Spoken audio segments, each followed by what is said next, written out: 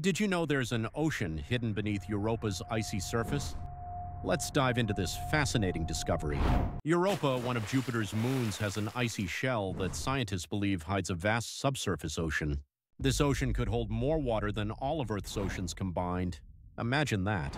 But how do scientists know this?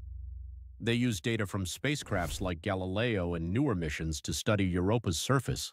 These spacecrafts have detected signs of water vapor plumes, hinting at the presence of liquid water beneath the ice. The ocean is kept warm by tidal forces from Jupiter, preventing it from freezing solid despite the icy surface. This subsurface ocean could potentially harbor life, making Europa a prime target for future exploration.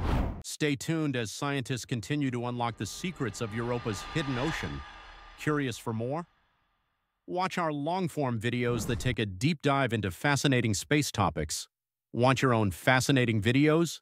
Click the link in the description to get started today.